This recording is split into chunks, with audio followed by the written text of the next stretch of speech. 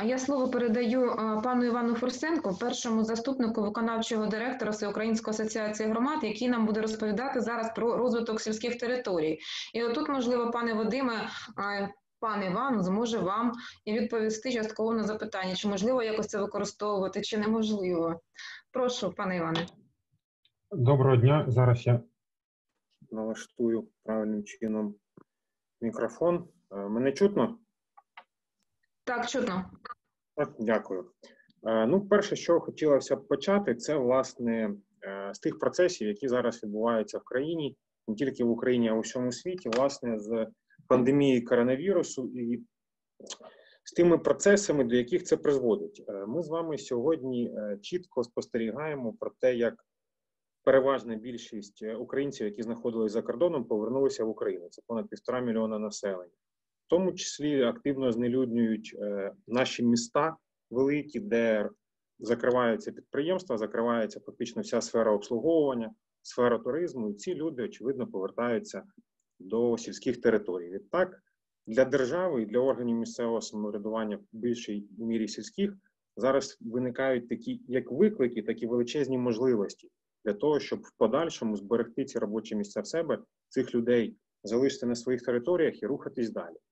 Для цих для того, щоб залишити людей, потрібно і державі, і місцевому самоврядуванню провести цілу низку заходів, щоб люди могли відчувати себе затребуваними на тих місцях, де вони народилися і куди зараз повертаються.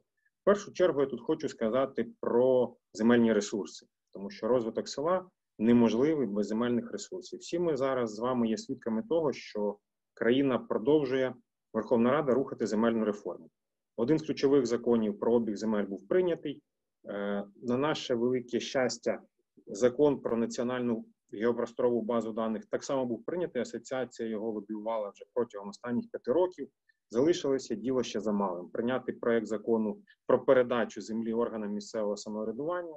Власне, це те, що дасть можливість місцевим депутатам з залученням громадськості, тому що сільські території, сільські громади насправді невеликі за населенням 10-15 тисяч. Так і кожний житель має змогу достукатися і до депутата своєї ради, і до голови, і пояснити ці всі потребності.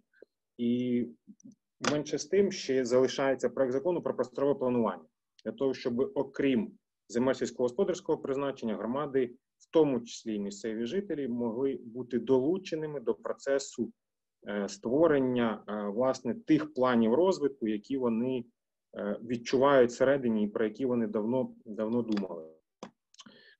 Тут на зустріч, і зараз ми, асоціація, залучені до процесу створення державного аграрного реєстру.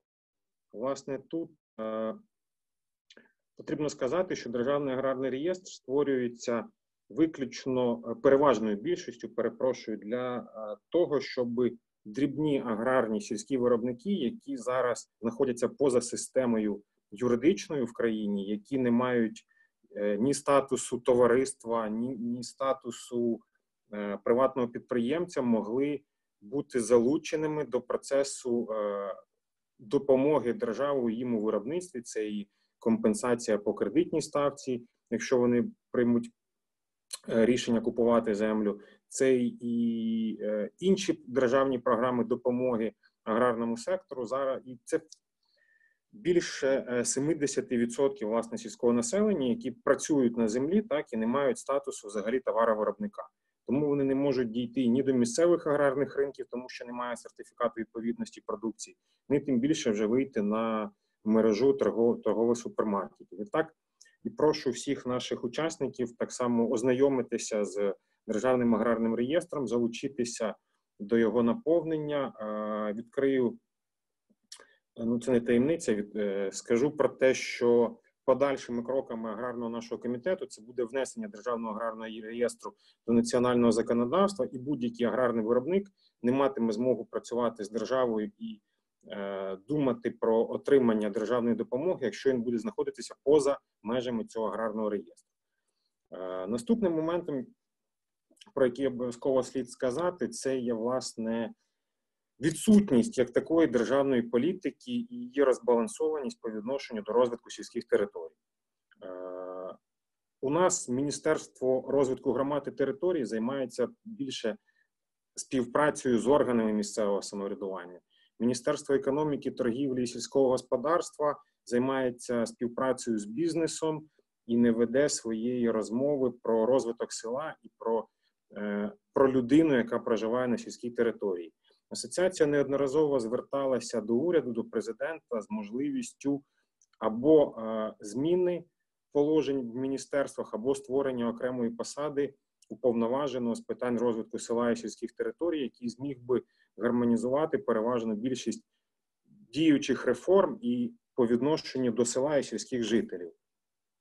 Ні для кого не є секретом, що якщо ми візьмемо будь-яку секторальну реформу, яка зараз відбувається в країні, і перенесемо її на село, то ми побачимо там повне е, іскривлення зіркал. Так, якщо говорити про оптимізацію шкільної мережі, то в містах здебільшого вона відповідає дійсності. Якщо ми говоримо про сільську територію, там буде зовсім інший ефект. Власне, це і стосується реформи медицини, і другий етап якої стартував під час е, вже фактичної епідемії з 1 квітня.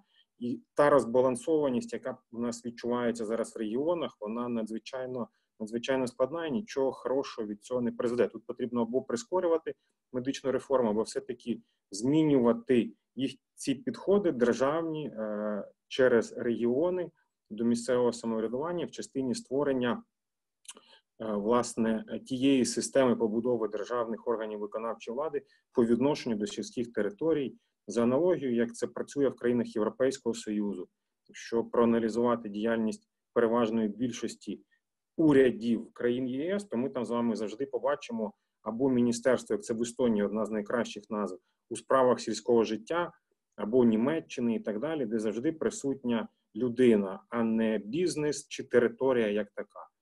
Тому е, не буду забирати ваш час. Задоволенням відповім на всі е, запитання, якщо вони будуть. Дякую за увагу.